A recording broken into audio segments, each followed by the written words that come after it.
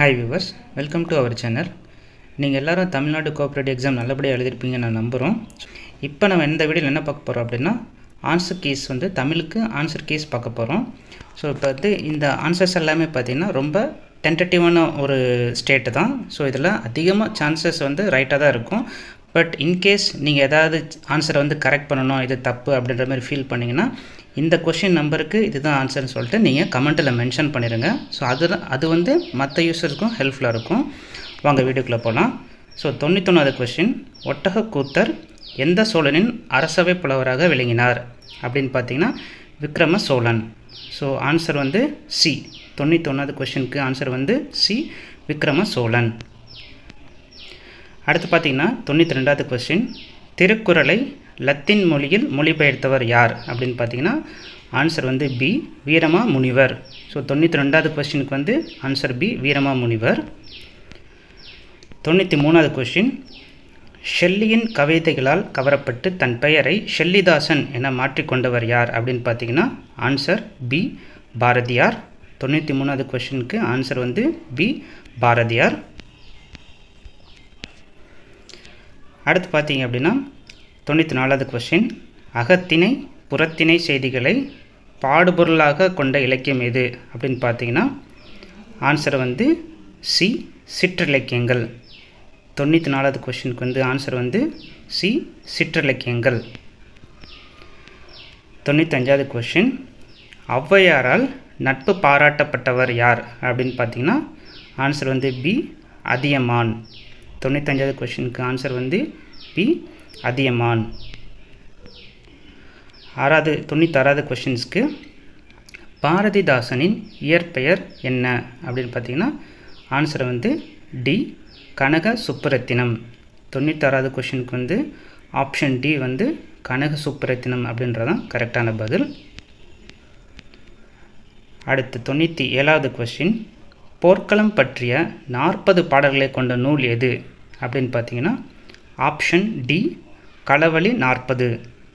தொண்ணூற்றி ஏழாவதுக்கு ஆன்சர் வந்து ஆப்ஷன் டி களவழி நாற்பது. தொண்ணூற்றி எட்டாவது கொஷின் வந்து மதுரை காஞ்சி வலியுறுத்தும் செய்தி என்ன? அப்படின்னு பார்த்தீங்கன்னா ஆப்ஷன் டி ஆற்றுப்படுத்துதல். அதுதான் வந்து தொண்ணூற்றி எட்டாவது கொஷினுக்கு ஆன்சர் வந்து ஆப்ஷன் சி. தொண்ணூற்றி ஒன்பதாவது கொஷனுக்கு வந்து பார்த்திங்கன்னா நன்னூல் ஆசிரியர் யார்? ஆப்ஷன் ஏ வந்து பவனந்தி முனிவர்.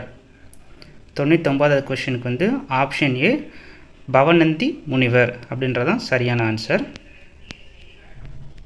அடுத்து பார்த்திங்கன்னா நூற்றி தொண்ணூறாவது கொஷின் முதல் இலக்கண நூலை எழுதியவர் ஆப்ஷன் ஏ தொல்காப்பியர். தொ நூற்றி தொண்ணூறாவது கொஷினுக்கு வந்து ஆன்சர் வந்து ஆப்ஷன் ஏ தொல்காப்பியர் நூற்றி தொண்ணூத்தொன்னாவது கொஷின் வந்து பார்த்திங்கன்னா வீரமாமுனிவர் அவர்கள் தமிழில் முதலில் வெளியிட்ட நூல் எது? வீரமாமுனிவர் அவர்கள் தமிழில் முதலில் வெளியிட்ட நூல் எதுன்னு பார்த்தீங்கன்னா ஆப்ஷன் ஏ தேம்பாவணி. நூற்றி தொண்ணூத்தொன்னாவதுக்கு வந்து ஆன்சர் வந்து ஆப்ஷன் ஏ தேம்பாவணி. நூற்றி தொண்ணூற்றி ரெண்டாவது கொஷின் இந்திய நாடு மொழிகளின் காட்சி சாலையாக திகழ்கிறது என்று குறிப்பிட்டவர் ஆப்ஷன் சி அகத்தியலிங்கம். நூற்றி தொண்ணூற்றி ரெண்டாவது கொஷினுக்கு வந்து பார்த்திங்கன்னா ஆப்ஷன் சி அகத்தியலிங்கம். அடுத்து பார்த்திங்க அப்படின்னா நூற்றி தொண்ணூற்றி மூணாவது கொஸ்டின் ஆயக்கலைகள் அறுபத்தி நான்கினையும் ஏய உணர்விக்கும் என் அம்மை என்று கூறியவர் ஆப்ஷன் பி கம்பர். நூற்றி தொண்ணூற்றி மூணாவது கொஷினுக்கு வந்து ஆப்ஷன் பி கம்பர் அப்படின்றதான் கரெக்டான ஆன்சர். நூற்றி தொண்ணூற்றி நாலாவது கொஷின் பார்த்திங்கன்னா திராவிட மொழிகளில் ஒப்பிலக்கணம் என்ற நூலை வெளியிட்டவர் option A Caldwell. Option A Caldwell. நூற்றி தொண்ணூற்றி நாலாவது கொஷினுக்கு வந்து ஆன்சர் வந்து ஆப்ஷன் ஏ கால்டுவெல். நூற்றி தொண்ணூத்தஞ்சாவது கொஷின் தமிழில் சிறுகதை தந்தை என்று புகழுக்குரியவர் யார் அப்படின்னு பார்த்தீங்கன்னா ஆன்சர் வந்து ஏ வாவேசு ஐயர். நூற்றி தொண்ணூற்றி அஞ்சாவது கொஷினுக்கு வந்து ஆன்சர் வந்து option A Va Ve Su Aiyar.